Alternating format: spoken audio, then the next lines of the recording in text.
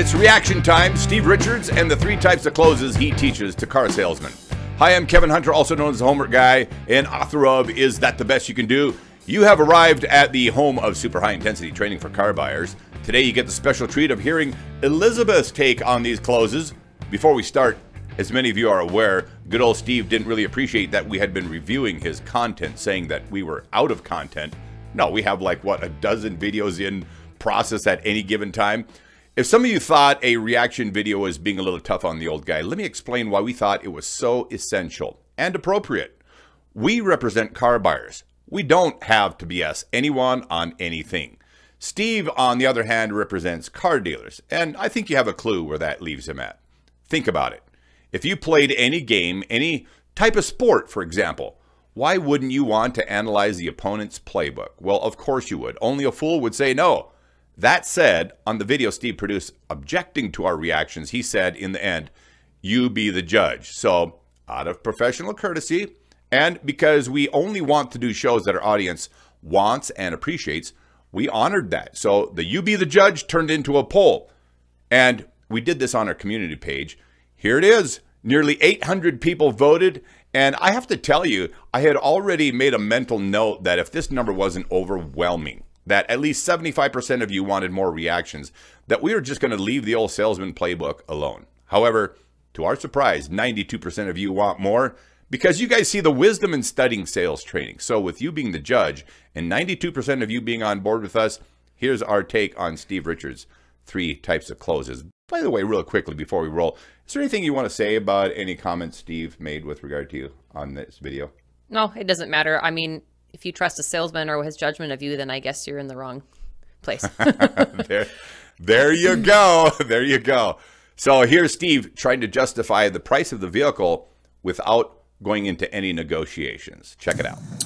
All right, this video demonstrates how to handle a customer who is getting a huge discount already. Um, the vehicle's been discounted. In this case, it's a uh, Silverado truck it's been discounted thousands of dollars. Chevrolet is discounting it an additional $4,000. But the customer's doing what they've always done. Uh, they, they like the truck, but now they're trying to work the salesman for a better deal. Something you should do every single time, by the way. So this isn't unusual. It's been done for years, should always be done. And regardless of what any dealer says about like their first prices, their best price, always negotiate. In this particular case, as in many of the cases these days, there's no more there's no more room. The dealer had to deeply discount the vehicle. The no more room, you guys are sitting in multi-million dollar facilities and around guys that are making like Andy Elliott bragging about making $700,000 a year selling cars and $2 million a year as a uh, part of the management team. But they're losing money. But they're losing money. So keep saying like there's no money in these deals. Look around you. Only a fool would think that was the case. It's kind of like being at a casino. If you think the house loses all this money to these all these huge winners, um, you need to think again. To attract the customer in the first place. But the customer doesn't know how the pricing model's changed. In this particular scenario, do you want to say anything about this word change? Because Steve uses this a lot. He talks about a lot about how the car business has changed. Um, has anything that Steve is doing changed? Nothing has changed. Maybe he's upped his own game, but it's the same game they've been playing for 20 or 30 years. The words that he uses, you can literally watch his videos going back for years, and they'll be identical. Yeah, the, the word tracks are the same. The word tracks are exactly the same. Rather than negotiate with the customer, I'm going to use three different price justifications. The first price justification I'm going to use is the market-based price negotiation. The second is the uh, package and options and accessories uh, strategy, which should demonstrate to the consumer, I mean, they're getting a heck of a deal anyway. And thirdly, I'm going to go into my value proposition. I'm going to do this every time before I ever negotiate because it says on the screen there, justify, don't negotiate. Mm-hmm. So that's the new tactic, you guys. In most cases, there's nothing else to negotiate. Consumers don't recognize a good deal when they see it because of all the tricks dealers have played on, on them in the past. yeah. It's not the consumer's fault. Right. It's um it's our fault. Hey, look at that. There he is pointing the finger at himself. You're right. Nailed it right on the head. Couldn't agree more. In the business, but now we've got to the point where we need to learn to justify, we need to learn to be persistent. You can't let your salesperson look at the customer and say, well, gee, I'll be right back and go visit the Wizard of Oz behind the curtain. the Wizard of Oz is actually vocabulary that you acquire when you're in the car business long enough. They use a lot of like really strange things to to especially like when they really take advantage of a person, they'll say we rip their head off. Yeah. Isn't that, isn't that pretty gross? Yeah. But but that's what they say, you know, when they really screw a customer over. And those rip your head off deals are the ones that get praised on Saturday morning sales meetings. All right, so have some fun with with this. Uh, watch it. These are three great justifications. They're honest, above board, completely accurate, and the consumer will buy it if your sales team can communicate it effectively and confidently. Pay close attention to what he just said. If I your don't want to buy it. if your if your sales team can communicate it effectively and confidently. He didn't say if they can communicate it fairly, honestly, Honestly and transparently. transparently. I mean, like, how many deals did we do? I mean, a ton of them that we've done where we've shared all the information with the customer so they, they could actually look at the information and see that it was a fair deal. And the customer is like, let's do it. Just, just like that. There wasn't any further conversation or whatever. It was just making it transparent so that it was easy for the customer to tell that the deal was fair and honest. And they're just like, let's do it. There wasn't any more of this conversation that Steve's going to go through with this customer because he's avoiding being fair and honest, and of course, being transparent. Hey, Steve. So, I mean, I like the truck and I want to take delivery of this truck today. I just want to know, can we do better on that 44.6? Hey, really quickly, so that you know, this is a car salesman giving Steve objections, and he's showing the salespeople how to deal with them. So this isn't a live situation with Steve and a customer. It's Steve and a salesperson. But the reason why you need to know about it, because that salesperson in turn is going to do this to you. You know, the fact that you want me to drop my price is evidence that you're a perfectly normal human being. Boy, I've heard that Um, this is not your first rodeo. You bought trucks before, correct? when he said the fact that you want me to drop by is like, oh, what? it always makes me laugh when I hear that line out of him about you. Seriously, go back and watch a whole bunch of Steve Richards videos. That's the first thing he says out of his mouth. Oh, the fact that you want me to drop my price. You know, you're a perfectly normal human being. See, I can say it. I've heard him say it so many times. I can recite it. Uh, how, how long ago was it that you bought? By the way, what was that? When he said, you know, you're a perfectly normal human being, and I'd be surprised if he didn't do this. What was that? Oh, he's validating. He's trying to make it seem like we're buddy buddy. I understand you, and therefore everything I say after this, you're going to buy into. You're going to think he gets you. Yep. Your last truck. Uh, it would have been 2017. Okay, uh, I'm going to guess that in order to get a good deal on that truck, you had to go back and forth with a salesman to get the best deal you possibly could. Sure. And that's what you want to do right now. Sure. All right. Um, things have changed. Things Nothing have changed. changed. things have changed. You be the judge of how much things have changed when you hear this. Austin, um, and all the changes that have taken place since 2017 are good for the consumer. Good, good for you. I do agree with that. A, a lot of things that have happened relative to information and even the rapid growth of homework guy videos has all been to the benefit of the consumer. So tons of information like us available on the web, and that has been to the good of the consumer. Doesn't mean that the dealership itself has changed anything, but yes, a lot of great changes for the benefit of the consumer, including the growth of the homework guy channel. The massive movement to online shopping has literally changed the way dealers price their trucks. Shoot, we don't even price them. Software prices them. Look, in order to attract the software pricing it. He's been actually saying that for a long time. Shoot, we don't even price our cars. The software does it. Yeah. Right. I, I've seen these sales managers and the management team work on the pricing of their vehicles. And yeah, they're paying attention to what's going on in the auto auction and everything like that and and what's out there, but that is very largely a manual process and them just trying to jockey around and beat the other dealers up. In fact, by the way, um, we, we may he may touch on this at whatever point, but the fact that uh, car sales trainers like Steve and other people in the car dealer business talk about the homework guy beating up on dealers and making dealers look bad and sound bad and stuff like that. Go into a dealer one time, anywhere, and say that you were at another dealer. And what is that dealer going to tell you about the other dealer? Oh, they're slime balls or scumbags. Can't believe you went there and they have the worst prices ever. It's just one thing after another. And we don't do stuff like those guys do. You know, we, we, we aren't here to screw you over like they are. They'll throw literally every dealer in their community and anywhere you went to go shop, they'll throw every one of them under the bus and, and tell you the worst horror stories, stories you haven't even heard here on this channel. They'll tell you those kinds of stories. That's how much they trust each other. You today. We had to deeply discount this vehicle, and uh-huh. then Chevrolet had to throw in another four thousand dollars. Yep. If this price hadn't been attractive on the That was just a rebate. You, we wouldn't even be having this conversation, would we? Sure. Of course not. You're doing what you've always done because the dealer's first price was never the best one. Hey, things have changed. What you had to fight Again, things have changed. Dealer's first price was never the best price. That's still true. For in the past, Austin, you are now served up on a silver platter. In fact, it's served up to you at home or at your office. What is Steve serving up on a silver platter here? Can I say it on YouTube? I think you guys know what he's serving up on a silver platter. Because if we don't serve up a deeply discounted price to you before you get here, you don't get here. Our phones don't ring. Email inboxes don't fill up. Nobody shows up.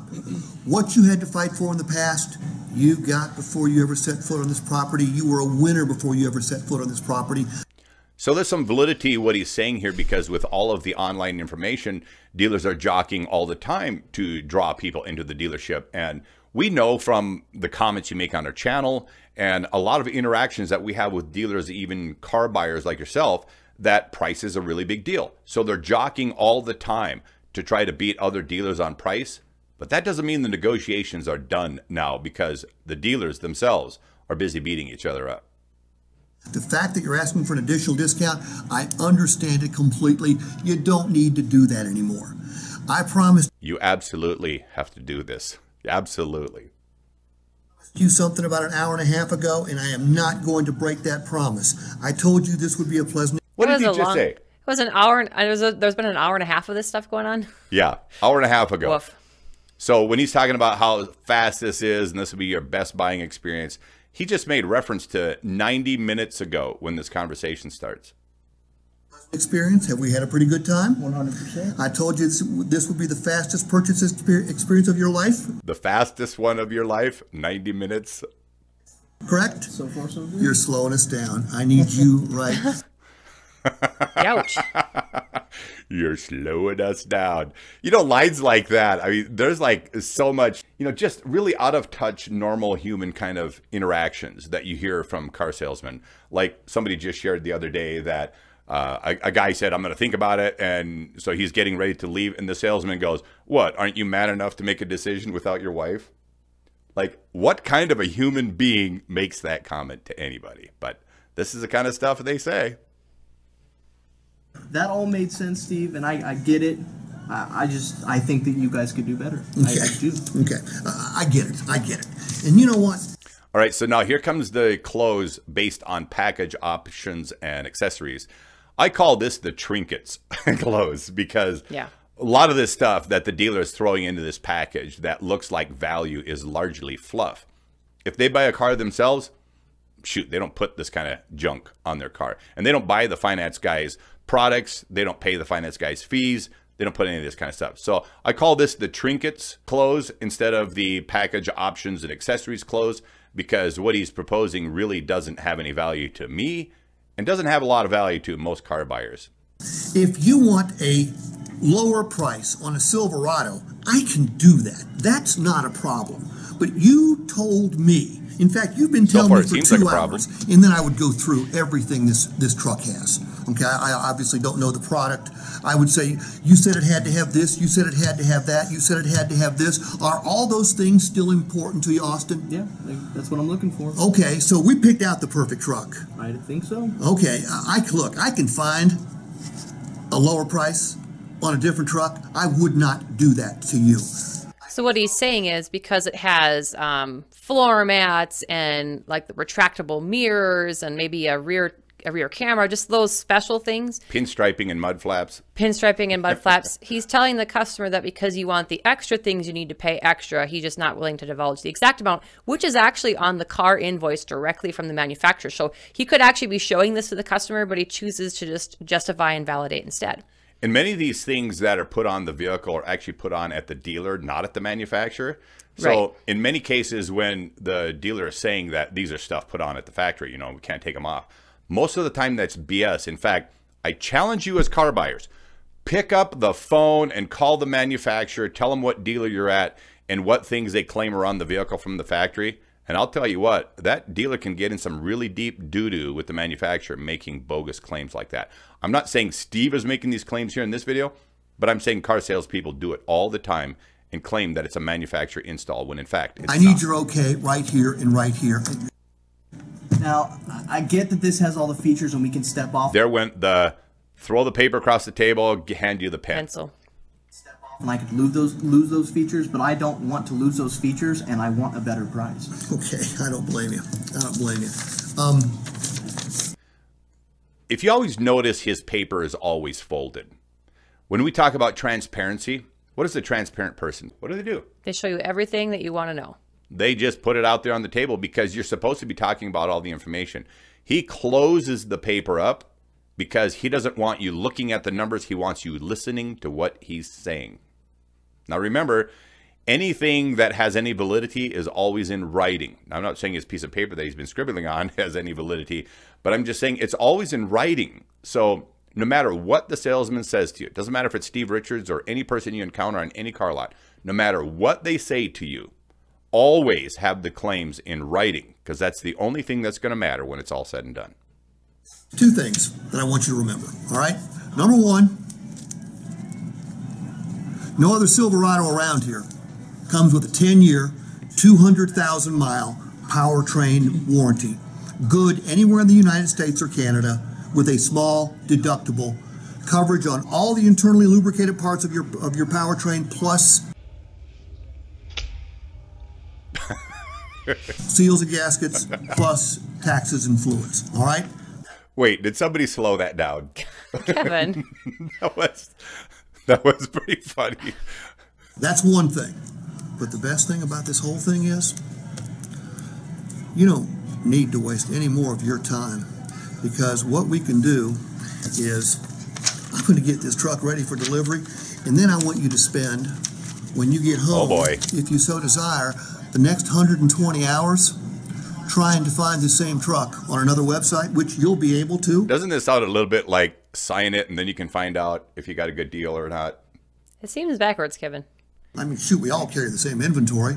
You'll be able to find the same truck on any one of 5,000 Got the old head different going. Chevrolet dealership websites. And if you find the same truck advertised for a lower price anywhere in the USA, and it comes with the same benefits we offer, you just give old Steve a call and say, Steve, here it is. Here's the website address. I'll look it up, and I'll just bring you down here, buy you lunch, and give you a check for the difference. As Wow. if that's not in writing, Kevin. That's not in writing. think Again, that's that's, what the salesman says. None of that will be backed up. Make him put that kind of stuff in writing. And if a salesperson ever says that, just say, you know what? Go ahead and write that up in a legal document. Let's take a look at it. But you shouldn't ever take this kind of a, a situation where you're signing a deal, driving it away. You're, you're sitting at home doing your after the fact homework when homework is always done in advance. You ever hear anybody? I mean, th- this is such a dumb thing to do. I mean, to just use the analogy, I'm assuming we have college students in our audiences as well because we hear from plenty of you. So think if you went and took the test and then you went home and studied. And after you studied and realized that there was a bunch of things you got wrong, you went back to the teacher and said, "You know what? Um, I want to fix a number of my answers because I know I really screwed up." Yeah, that's not going to happen, and it definitely isn't going to happen on your car deal either. Wrong. Do the homework first, fix it. So here's the thing that I'd say about this is that if Steve is totally comfortable that he has the best deal, the best price, the best truck, send the guy home. Have him use his 120 hours and do all of his research. Come back four or five days later, a week later, whatever, and sign the deal. Then send him home. Make him go do his homework and have him come back because he's going to find out that if you do indeed have the best deal that he very convincingly is saying that he has, Done deal. Customer goes and does the homework, comes back, signs out on the truck. That easy. Okay, because you got a best value guarantee. I told you you couldn't pay too much for a truck at Premier. You cannot.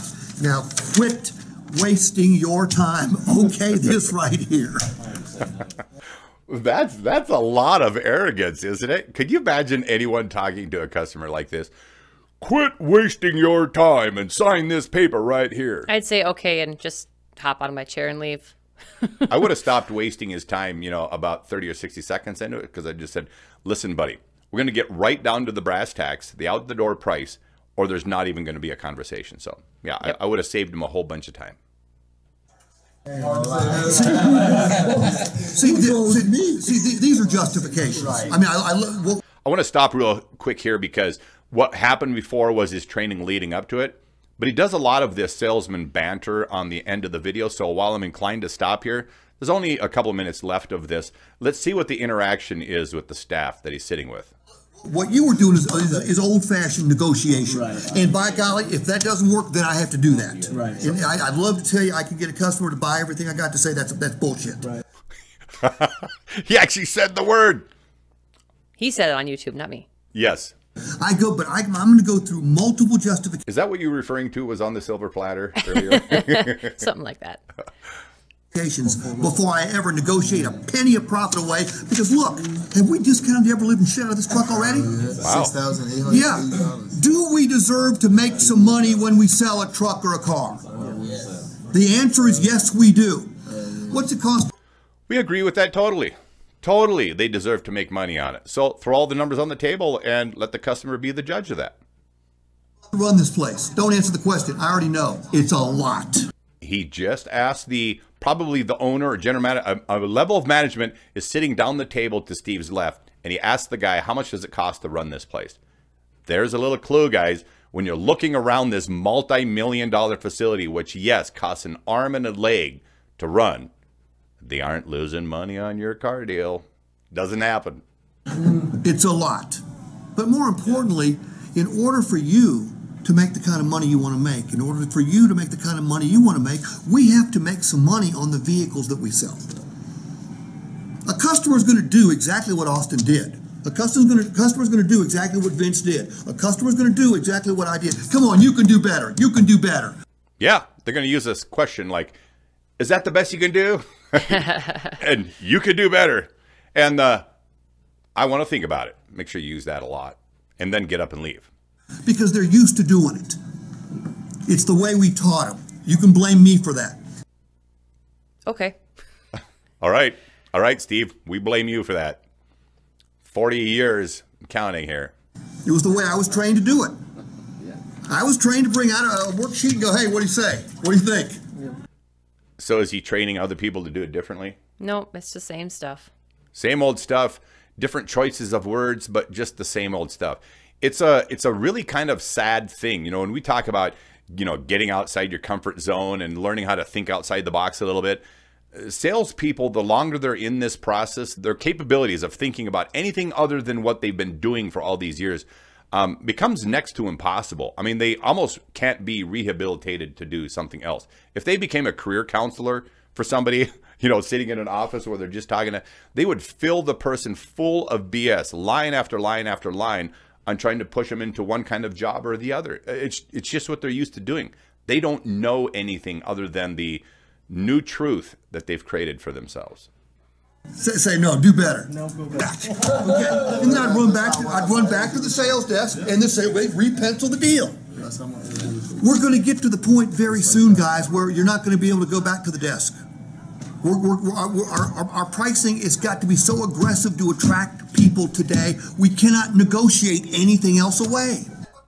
There's a certain amount of truth to uh, pricing on cars becoming more and more competitive. Although right now prices of cars are just way through the stinking roof. Dealers are making a killing off of every car they're selling right now. That's that's just where the pricing market has gone. But there's more and more information on pricing, and that's the reason why you guys have to be so diligent.